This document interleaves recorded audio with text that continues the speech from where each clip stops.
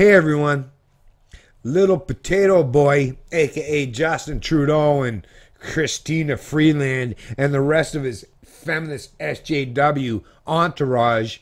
Yeah, they've been told by the Trump administration and the rest of the business negotiators or people in positions of authority in different countries around the world have said, listen, go home, deal with your little social justice issues, and come back to us when you've grown up and have become an adult and want to actually deal with actual trade, right? And business practices. We don't care about your ideologically driven narratives. We don't care about your feminist virtue signaling. We're all about trade. We're all about economics. I don't really care about your political ideology, little potato boy. Headline from the National Post John Ivison, U.S. cites Trudeau's progressive trade agenda as barrier to progress on NAFTA. A senior Canadian government official said the U.S. is really frustrated by the rejection of proposals the Canadian side has labeled non starters. Justin Trudeau's progressive trade agenda, the insistence on including gender parity and Aboriginal issues in trade negotiations with the United States, is being cited as a barrier to progress by senior figures in the U.S. administration, according to people familiar with the matter. Donald Trump's top deal makers are said to be complaining that Canada is not negotiating and that, in the event of a collapse of the North American Free Trade Agreement, a bilateral deal with Mexico might be easier than one with Canada because it is willing to be flexible on U.S. content requirements. The attempt to impose progressive chapters on labor, the environment, and women into a prospective free trade deal with China scuttled those prospects last month. But a senior Canadian government official said the idea that NAFTA is in trouble because of two chapters out of the 28 being negotiated is total nonsense. He said the progressive agenda remains a priority for the Trudeau government, but the U.S. is really frustrated by the rejection of proposals the Canadian side has labeled non starters. The inclusion of a five year sunset clause, the scrapping of the dispute resolution mechanism, strict U.S. content rules, in autos, the end of supply management, and the opening up of Canadian government procurement. That sounds like just just that little part alone. Doesn't that sound like something that China or the communist regime would put forth resent as a, a pretense for their own negotiations? But you know what? The crazy part is the Chinese are the ones that would reject this stuff. Trudeau's way, way, way worse than even the communist regimes, for fuck's sakes, people. Come on. Even the Chinese people are saying that, hey, listen, Trump, we're going to deal with you the economic and trade, and, and, and you know, we're going to put our own, we're going to put our own ideological bullshit, right? aside and let's just deal with each other in the manner befitting of businessmen, right?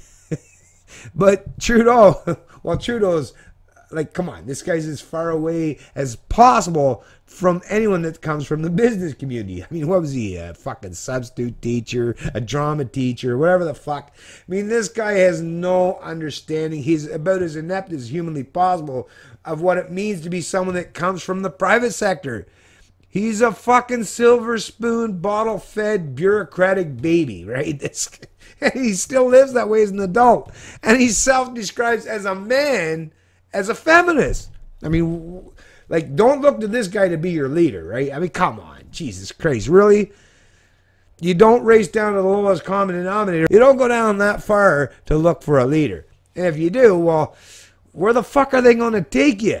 Right? you know, traversing through subterranean caverns, right? Lead you straight to hell, maybe. Well, they're already halfway there, right? Now, I'll post a link to this article in the description of the video below, and I won't read any more from it. But I mean, come on. I'm, I'm, I'm totally, fully understanding why people in the business community don't want to deal with fucking little potato with his fucking feminist agenda, like with his virtue signaling bullshit. It's like, wait a minute. We care about the real things in the world, the real things in society, the real social and economic development that will take us forward you know, into the future and being more prosperous. I mean, come on. How can you put forth present any kind of information that's all ideologically driven, right? Without expecting and experiencing a massive and severe pushback. Like I say, these people, Trudeau and his fucking team and this Christina Freeland, like with her, "Oh, we're not getting our way, let's cry about it. I mean, come on, that doesn't inspire anybody. It doesn't show you are an authority in any way, shape, or form. It just means that you're just a whiner. Just a crybaby. It's like, I want my way. God damn it. If you don't give me my way, I'm going to fucking do whatever I can to disrupt everybody. I'm going to, I'll destroy millions of people's lives socially and economically if I don't get my way. That's what these leftists, these feminazi types sound like. It's like, give me what I want or I'll throw a temper tantrum. Well, listen. The rest of us got to really put ourselves into positions where it's like, let them throw their temper tantrum. Let them whine and cry and pound their fists and stomp their feet. And we'll just continue on about our daily lives. That's where we got to get to. Let these fucking dipshits throw their temper tantrums. Let them be the morons that they truly are, right? And they want to play their little authoritarianism, let them. But just Make it so that they're just doing that, and they they're just this this weirdo, like the guy downtown, like sounds like some insane motherfuckers, like standing on the street corner. Let them let them ramble on, right? Don't try to stop them. Don't try to shut them up. Ramble on, but you know, listen to them, be entertained for a few seconds, and then pivot away and do your thing, and don't let them have any real effect or consequence on how your personal individual lives is affected. A truly independent and free society is strong enough and resilient enough that these dipshits can do their thing and the rest of us just go on, march forward, and remove yourself far enough from their screeches and their from their whining that you don't really have to deal with it much.